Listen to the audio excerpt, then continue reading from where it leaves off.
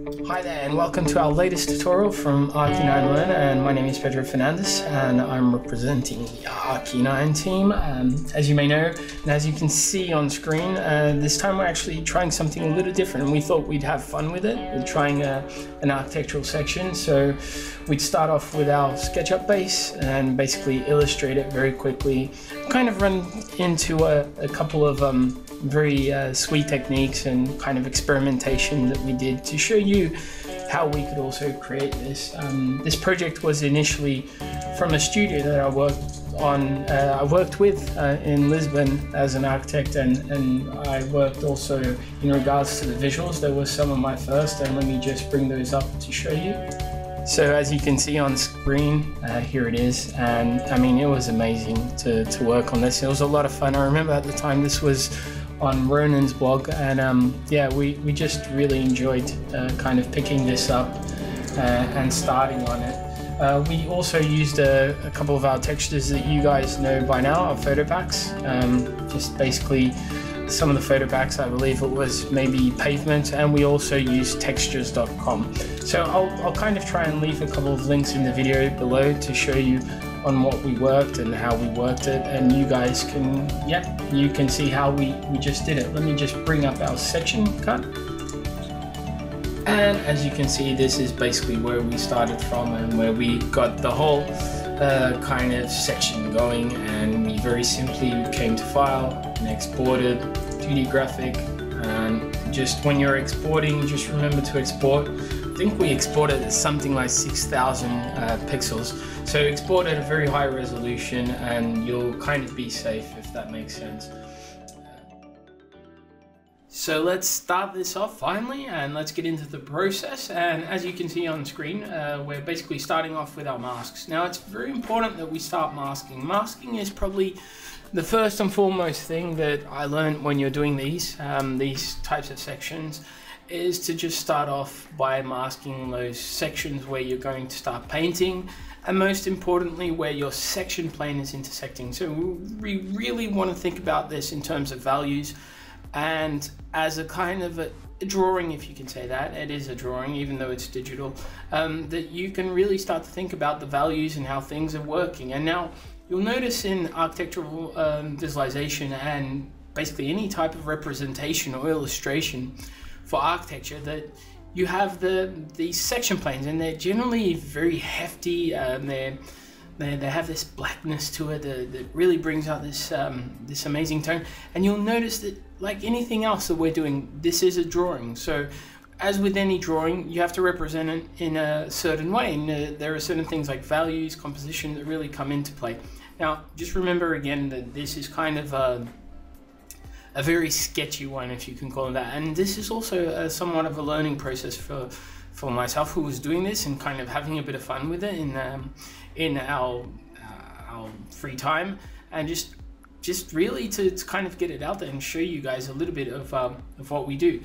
Now, as you can see, I'm just masking out those section planes and those I found were kind of the most important. Even when I looked around on references uh, online and first thing I did was actually look at references and and really spot out those important references like Alex Hogrefe and and a couple of others that I found that were really good. Uh, Pinterest is amazing. If, if you're going for for references it works really well and basically try and understand how they're doing it from the beginning. Try and understand what are the most important things. And some of those were, again, the sections, uh, those really heavy kind of um, expression of a section. And then also I, I found that there was this kind of faking of ambient occlusion that started to work really well. And that faking of ambient occlusion was something that I had a lot of fun with. And you can see again the references popping up. So you'll see I'm always kind of bashing between references and various other things. And, and you'll notice that I'm bringing in textures from CG Textures, and it's also one of the first things I thought, okay, let's bring in some textures. You Control T to adjust it, and you adjust it, and uh, you you right click or and you add distort. And I found that if you yeah if you play around with it and trying to match more or less the perspective, again this is all very rough. Um, set it to your various overlay modes, uh, either overlay or multiply. You can play around with it and then you start to you know you start to have a bit of texture. Now there is such a thing as a kind of a, a visual noise. And visual noise is something that i found that it's it's hard to control. So basically you have um, uh, you know if take for instance this sketchup uh, file. It's it's very plain. It's very kind of initial.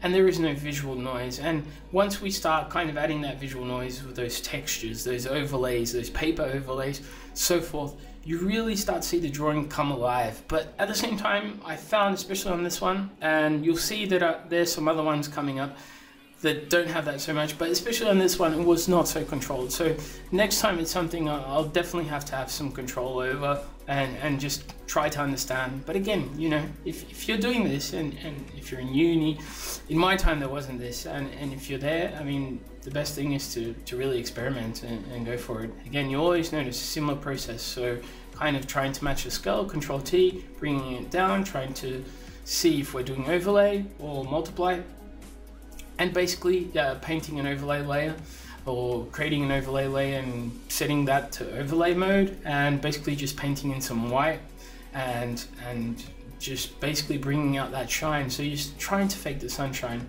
And you'll notice as well that I've used a very neutral gray and it's not just out of nowhere. You'll notice even some artists they'll use um, uh, I mean, great drawings uh, uh, here in the studio as well. Farron, Farron is really into uh, the drawing part and the really traditional art, and he draws on this kind of um, drawing paper. I, I, can't remember the name, but it's it's kind of creamish.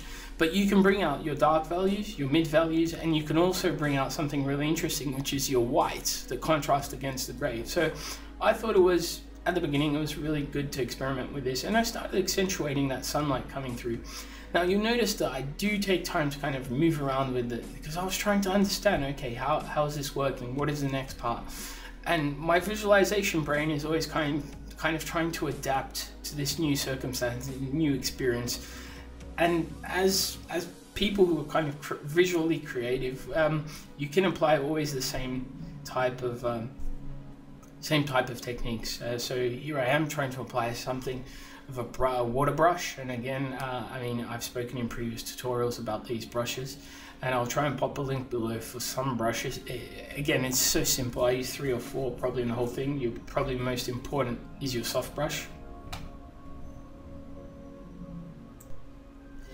You'll notice I was just selecting the windows and those windows are super important because uh, I did think these windows are really going to have an important part visually that we can play around with. And you'll notice that I wanted to get this some sort of, um, of glass texture and that was taken from textures.org again uh, we use a lot of our own textures as well in sites like Gobotree or textures but feel free to grab one of our photo packs. This is something that's fantastic. And wherever you go, take your camera with you. Just photograph, enjoy it. Look at those photographs. Look how the values work.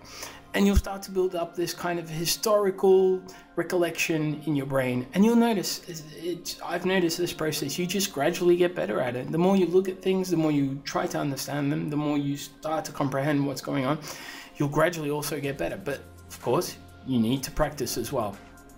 So here I am trying to draw some section lines and really starting to see that, okay, let's play this on the whites and the blacks. And again, as I mentioned, this is a process that I'm also trying to learn and it's something that I'm kind of doing in real time to show you guys how my brain is thinking, how I'm trying to pick up certain techniques and how I'm looking at it. And as an architectural student, you don't have a lot of time. You want to get this out. You really just want to control this kind of visual noise that goes on behind and you really want to create something that's nice. Um, it's not defined. You'll notice that this, uh, like most architecture when we're developing, it's not defined. It even sometimes changes on site. So you'll notice that a lot of what we do, especially in uni, as I remember, was uh, very temporary. And the more temporary that we had it in a kind of a mutant stage that's kind of mutating till the very end, the more the professors would like it. And I thought that, yeah, this was just fantastic. And it's a fantastic representation. Why always go photoreal? Why always try and just express uh, a photograph? Isn't architecture a little more than that? Isn't so many little things in architecture and we never try to explore them or try and go that extra length? And I thought that this was important. And you'll see again, it's just very simple masking objects, trying to understand the value of those objects, soft brushing those objects like I'm doing at the moment and just basically getting an understanding for how this can work visually. Now, I've looked back on this and there are a few things that uh, I, I, can see that aren't working too well. And I'm actually doing this at the moment in this process. And yeah, there we go. I just noticed that I was missing this uh, section plane that just passed through there. And that straight away, that, that lifted it and made me understand, okay, so this is this glass structure that just goes behind and under this, um, this uh, slab of concrete. Now here I am again, the glass, and the glass was an important element uh, visually and also in terms of style. And I really wanted to bring out that glass. I wanted to kind of contrast a little against those blacks that we have that are quite profound.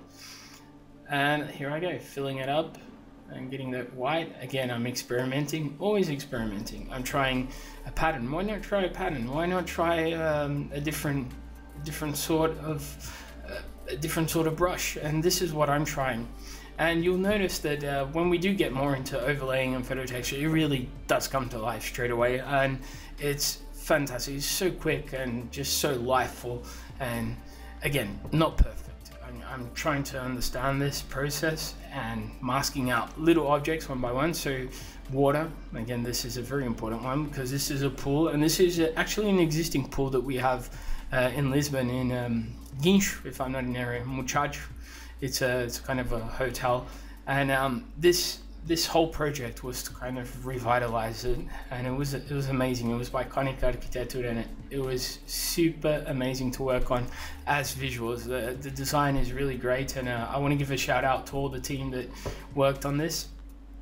And here, as you've seen, I've overlaid that uh, that water that we had to kind of bring in just a little bit of that texture. Here I am experimenting again with brushes, trying to understand what may look best.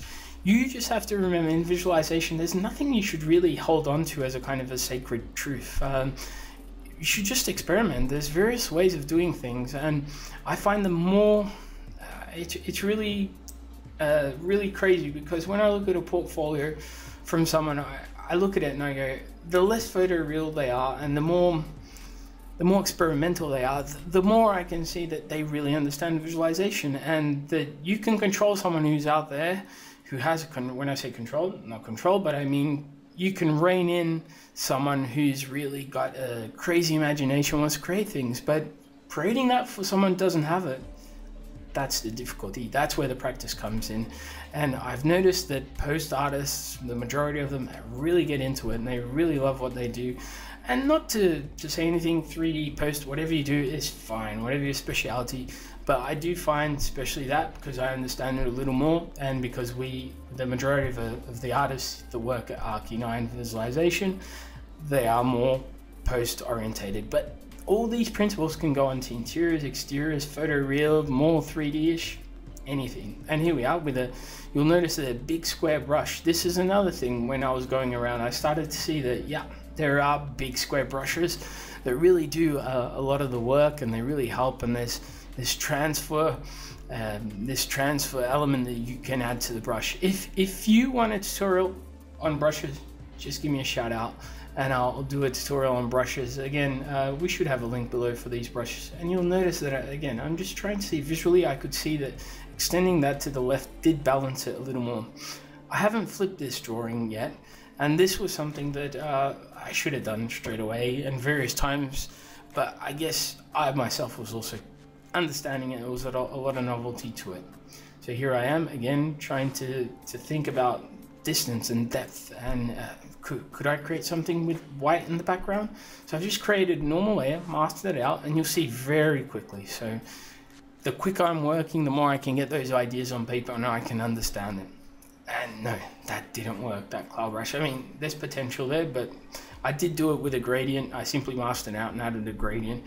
You'll also notice that the photo underneath that, that photo that kind of has this line, it just seems to work very well with the design. And um, it's kind of contrasting almost against that perfection of the design and having the old part on the right at the moment on screen and the left part, which is kind of the new part so this this worked quite well to, to give it this uh, this temporary it's still mutating design it's trying to understand it it's old but it's new So all this works in favor of, uh, of what you're developing. So you have to really think about what type of architecture you're expressing and also the drawing that you want to express. I mean, it really depends. I could do this in a Tron-like way. Uh, it could suggest that. It could suggest that.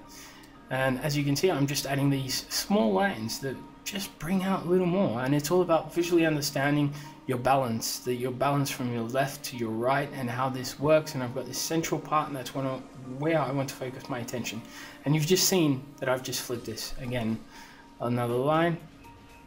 And just working my way through the drawing at the moment, trying to really understand these, these various techniques. So you'll notice that I've brought in this paper sheet and this paper sheet uh, I thought was fantastic at the time but I did experiment around with it a little bit and you'll see me experimenting around with it a little bit and, and trying to understand that form and just how that form works. Now again uh, just trying to have this kind of historical historical aspect to it and really trying to get the the old and the new working together. Speaking of old and new, uh, that actually reminds me of something we were really fortunate to participate and collaborate in, which is uh, Project Soane, and this is hosted by HP and NVIDIA and CG Architect and we had a blast at them. Uh, I'll show those below. Uh, I'll show them on screen. Uh, just interrupt for a, for a second, and you can see that. I mean, we had so much fun with these, with the before and after here, just how we painted these up and used uh, the, our various techniques. Now, you too can participate, uh, especially in the rendering competition. So the modeling phase is done but the rendering competition is still going on and you guys can participate and it's coming from I, I, think from the time that I'm recording this it's like five days left. So you guys check it out and have fun because it's fantastic. It looks so much fun. Now let's get back to our drawing and our architectural section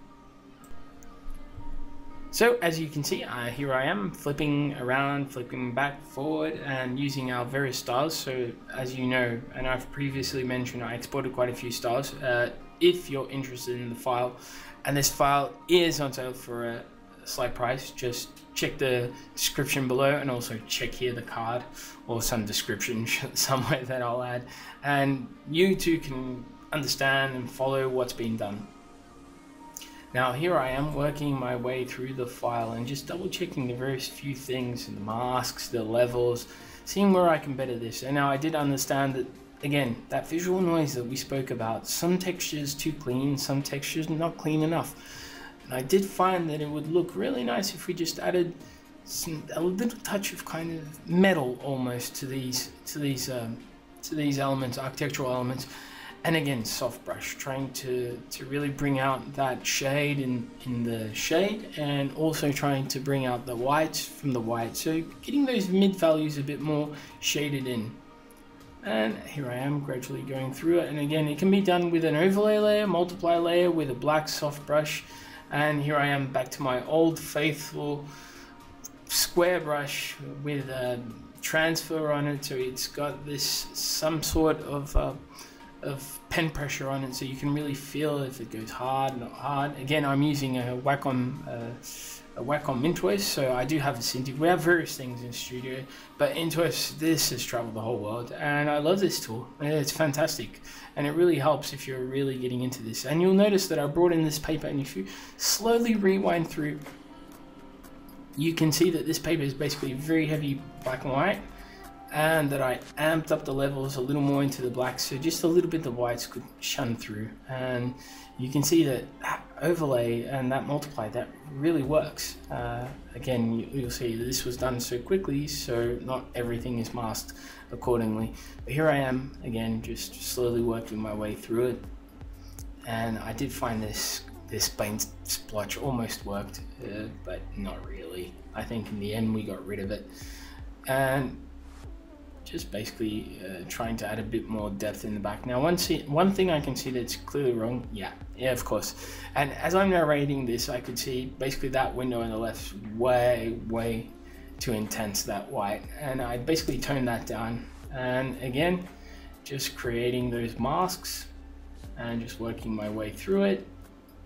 I'm not entirely sure, but I think at this time I, I basically created a mask just for that sky. And you'll notice just a little bit of lag. And here we are, back into it as Camtasia catches up. And just running my way through it with the pen tool. So you just press P, go to the various points, and I, it, sometimes it does work better. I do find that it works better than lasso tool, especially when I have to navigate around a lot. And this was quite big. So I then just follow through shift if I'm on a straight line and press and then just right click and just select or on the top you'll have uh, to make selection and you'll get those pixels and then yeah I just created the group sky and then I started again trying to understand hey how is this working in terms of silhouette what can I do here uh, I mean I did experiment with a couple of textures and skies, uh, especially from the photo packs. Um, I don't think we, have released one yet, but skies are coming. Uh, and as you can see, I'm just trying the various transfer modes to really understand what's the one that works there. I didn't even go to textures and I thought, okay, maybe a bit of cloud on the horizon.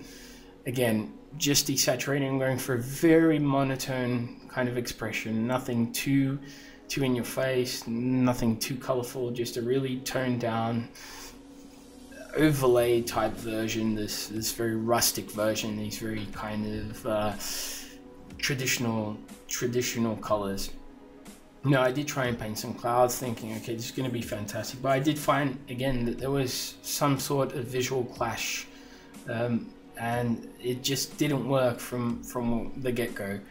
And here I am, just revamping those white lines and just trying to revamp a little more of that section line to bring out in places and to really somewhat ground this building because I, always found it needs it's it, it's like a person your feet need to be wide and you need to really have that terroir and really ground yourself to the ground and I think architecture looks stunning when you have this grounding.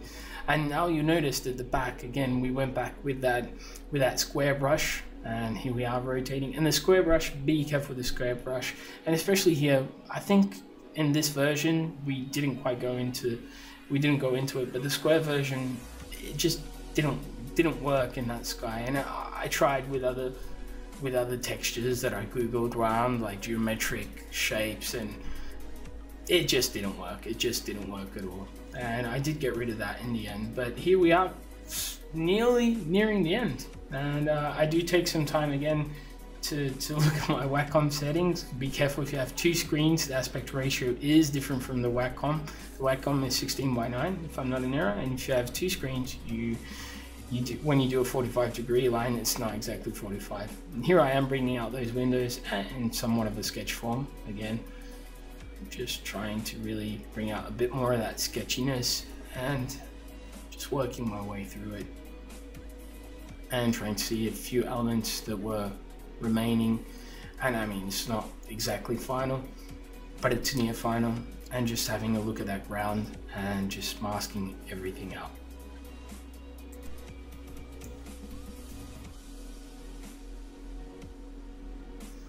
And here we are, nearing the end, uh, and I hope I haven't irritated you guys too long narrating, but I do find it's very important to, to give you an idea of what's going through the artist's mind when you're doing this. You really want to to really show people how you're thinking about things and and how those things may not seem really relevant, but in the end they are relevant. And even more than techniques, it's the way of thinking. Now, that's one of the most important things as well. And and just looking at things and trying to understand how they work. And here we are nearing the end and it's pretty much there. I think I just experimented it around. I mean, I would have liked to have taken more time, but again, this was a sketch. And this was, again, not the final version. We did go a little further with it, uh, just to kind of correct a few things, but here we are, just uh, trying to add a bit of color, but that color wasn't really working too much there. Soft brush to, to occlude, do this, what we call ambient occlusion, and we're nearly there and we're heading to the end. And as you can see now what's showing up is basically a slow transition from what we've completed what we started with to what we've completed. I hope you've enjoyed this video. I know it's a bit different um, but I'd love to hear your opinions and and see what you think. And also see a couple of your experimentations. I mean check out Arqui9 Learn let us know a little bit about what you're up to check out our other videos. We've got some amazing stuff and some really fun stuff. And I, I hope that Arqui9 Learn is just about this, uh, experimenting and, and really showing everyone, okay, we can do so many things in post or this way or another way. Let's enjoy it. Um, until next time, thank you very much. This is Pedro Fernandez from Arqui9 Visualization, Archie 9 Learn. And from all the team, a big thank you for watching our tutorials.